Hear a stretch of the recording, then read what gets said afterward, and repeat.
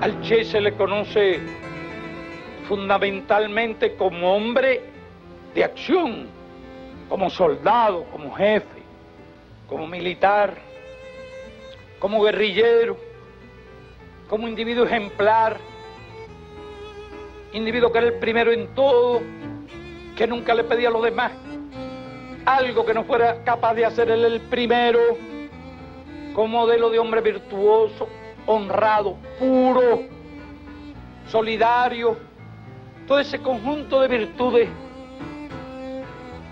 por las cuales lo recordamos